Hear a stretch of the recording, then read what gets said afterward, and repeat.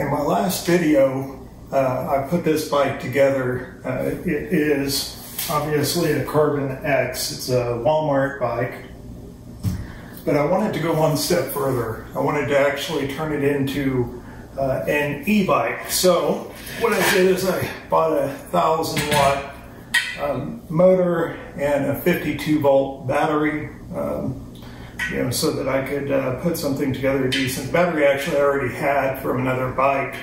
And the principle behind it is that the company that produces this actually produces an electric bike.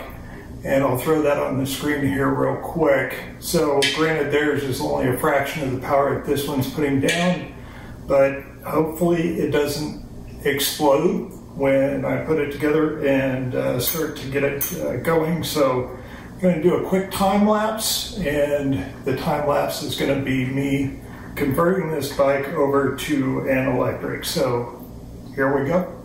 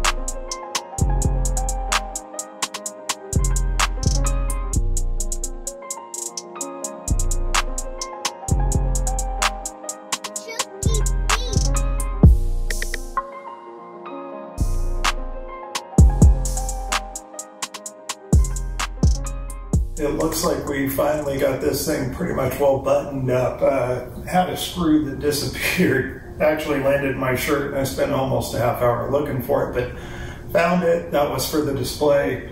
Uh, also, didn't get the pedal sensor all the way done because the um, pedal sensor bracket isn't exactly uh, connected the right way. So, other than that, uh, I have to do the brakes as far as brake sensors for the motor. I didn't want to do anything with it currently because I don't want to get rid of the stock piece. Uh, so that's going to be in a second video. There's going to be some button up stuff, but uh, let's go ahead and uh, see how she works or if she works.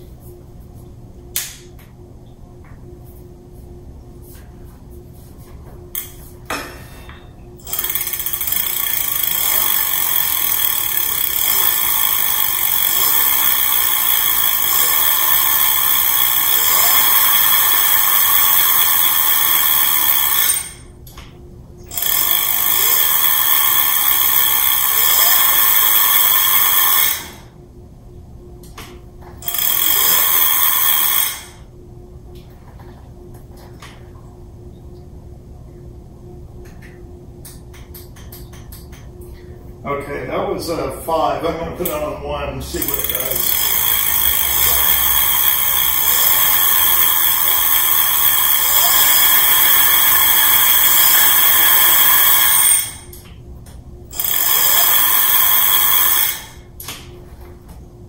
Okay, well, it looks like it is uh, operational, so um, I'm going to finish up the uh, I'm going to finish up the next couple of things on it, um, and then you know essentially get everything done. Once I've got uh, the brake sensors done, and see if I can do something with the pedal sensor.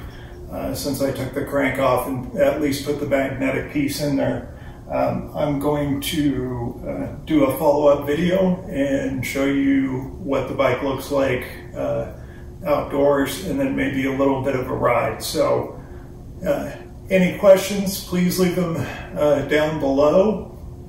Comments are also welcome.